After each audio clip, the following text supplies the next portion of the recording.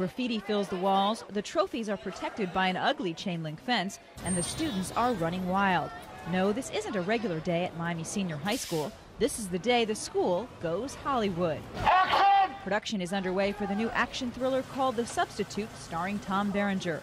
450 extras, mainly Miami High School students, showed up on this first day of shooting. And where most facilities get cleaned up when a movie comes in town, Miami High School got messed up. It was a very beautiful, pink, lovely color. We painted it white, as you can see. It looks it has a beautiful, washed out, kind of war torn look to it. Then we put a fair amount of graffiti on it.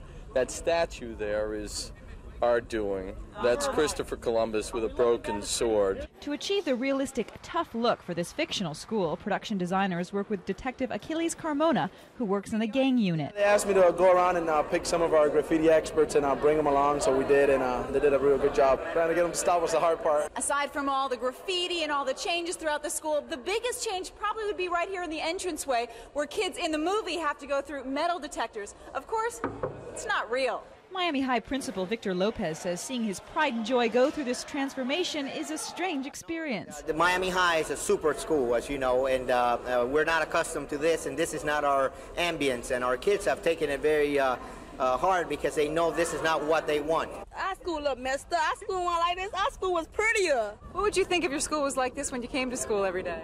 I would have left. Doesn't look like a real good learning environment. Maybe not for an average school day, but when it comes to learning about movie making, these kids are getting an education they never planned on.